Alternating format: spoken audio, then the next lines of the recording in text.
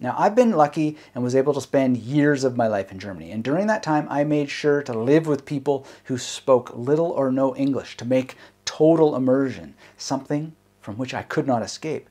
But I didn't have the luxury of living in China when I first started learning that language, and it was absolutely not necessary. In fact, after less than three months of studying the language, my time in the country was so distracting I didn't have time to study it while I was there at all or very little. And that is typically what happens when you try to combine tourism with immersion.